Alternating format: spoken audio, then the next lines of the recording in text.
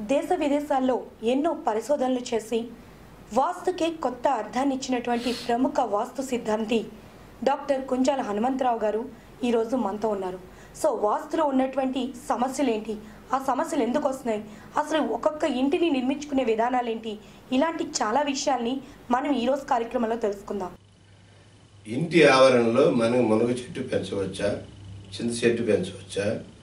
App చెట్టు పెంచవచ్చా అని చెప్పేసి అని అడుగుతూ ఉంటారు చాలామంది. అలాగే దేశ విదేశాల నుంచి కూడా మనకి ఈ యొక్క పాయింట్ గురించి మనం అడుగుతున్నారు. అదేవిధంగా ఏంటంటే మనం ఇంటి ఆవరణలో చక్కగా మనం ఒక ఒక మునగ చెట్టు పెంచుకున్నాం అనుకోండి. ఆవరణ ముందు పెంచుకుంటే ఏమవుతుందంటే మునగ చెట్టు వల్ల చాలా నష్టాలు జరుగుతూ ఉంటాయి. కనుక ఈ నష్టాలు అంటే ఏంటంటే మనకి మునగ చెట్టుకి ఒక పురుగు పట్టే అవకాశం ఉంటుంది కనుక అది ఇంటి ఆవరణలో అని ఇంటి వెనకాల పెరటి వెనకాల కూడా మనం పెంచుకోవచ్చు.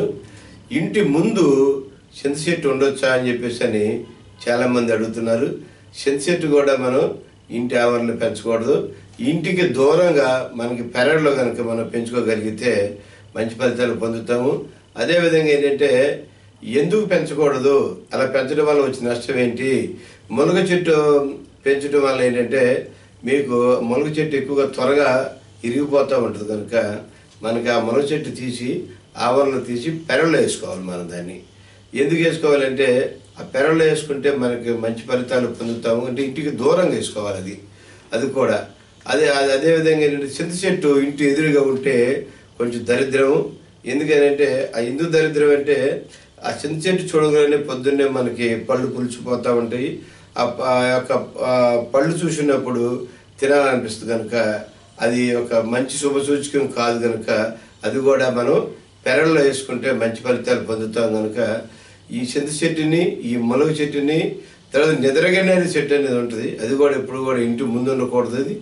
ఇంటి పెరల్లో ఉండొచ్చు. పెరల్లో అంటే ఏంటంటే వెనకాల ఒక ఒక ఇంటి వెనకాల ఏం చేస్తామో దొడ్డు ఉంటుంది అన్నమాట ఆ దొడ్లో మనం పండించుకోవచ్చు అన్నమాట.